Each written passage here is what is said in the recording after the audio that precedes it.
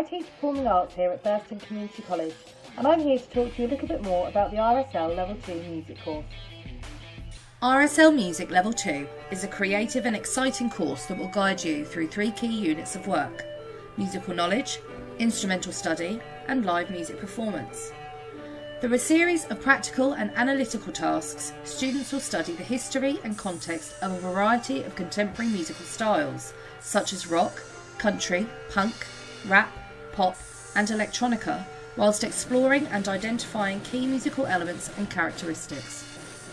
Students will also be challenged to develop their skills as an instrumentalist, with a focus on guided self assessment, establishing objectives for progression, and evaluation of outcomes. They will also participate in a selection of vocational scenarios designed to build their confidence as a performance artist from rehearsals in the classroom to performances live on stage.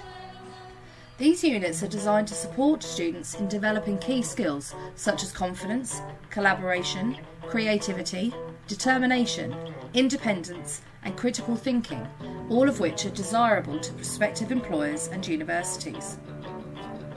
Although this course largely focuses on practical work, 60% of the assessment is based on internally assessed written coursework tasks, whilst the other 40% comprises an externally assessed live performance.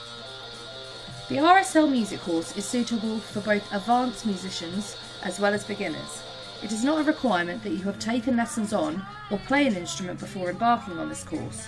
However, we do ask that you arrive with a determination and independent focus to progress musically using your voice or an instrument of your choice, in addition to having a passion for music and performance. Following on from this course, many students continue to take RSL Level 3 or go on to study music at university.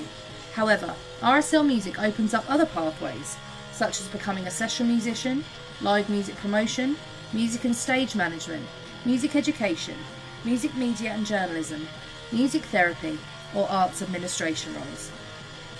If you would like any further information about RSL Music, please contact me or one of your other performing arts teachers.